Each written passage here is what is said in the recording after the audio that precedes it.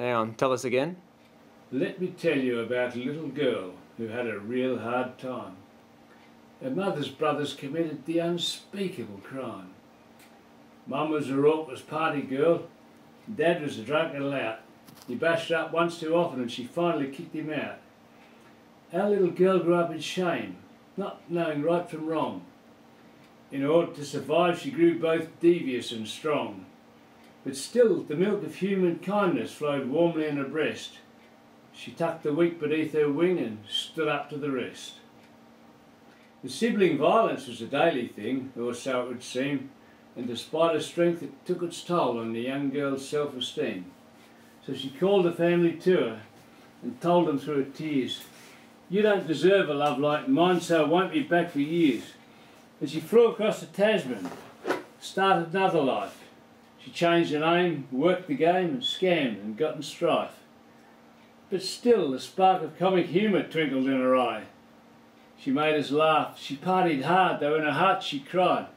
It was about that time that I met her, and I got to know her well. I tried to stop her self-destructing, though she gave me bloody hell because embedded deep within her was a strong distrust of men. And despite the fact she loved me, I'm still one of them.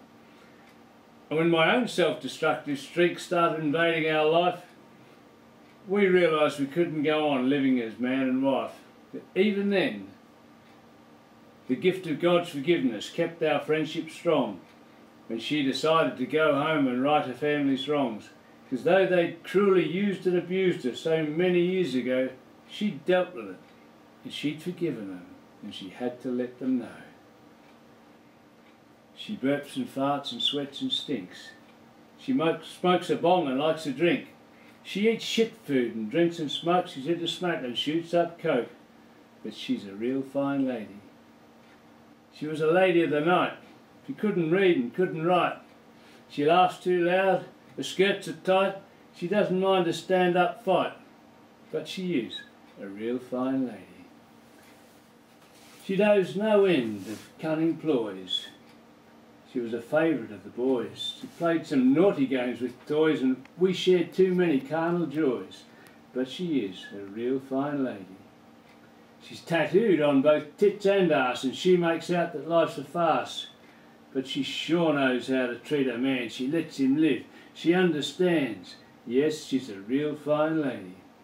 And now she's changed to some degree, and it's partly due to living with me.